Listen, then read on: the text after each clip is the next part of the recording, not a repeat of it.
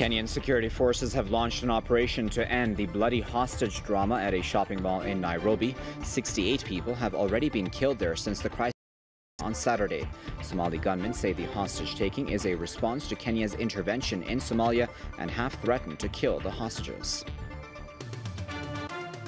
Syrian President Bashar al Assad says Damascus will live up to its obligations under a deal between the U.S. and Russia on the country's chemical weapons. Assad says that's why he's not concerned about a Western drafted UN Security Council resolution which would allow the use of force if Damascus fails to comply.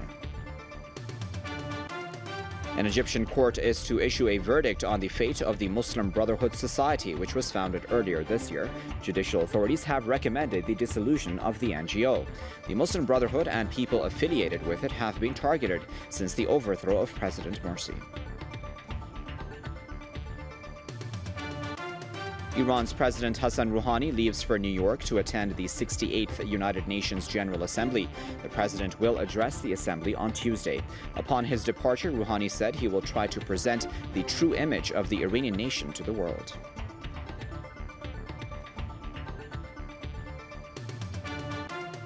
Two U.S. led foreign soldiers have been killed in a bomb attack in eastern Afghanistan. NATO broke the news without mentioning the nationality of the slain soldiers. At least 131 foreign soldiers, mostly American, have died in Afghanistan so far this year.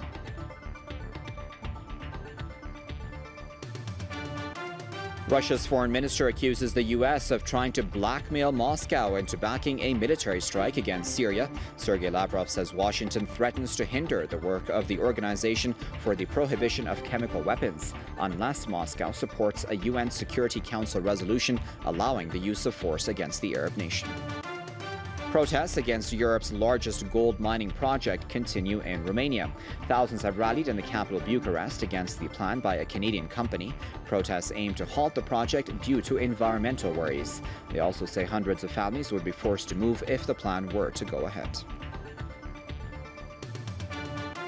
The German Chancellor Angela Merkel has won a third term in general elections. However, her conservative bloc has just fallen short of winning a majority and will be forced to form a coalition government. Merkel's bloc won about 42% of the votes against nearly 26% for the rival Social Democrats.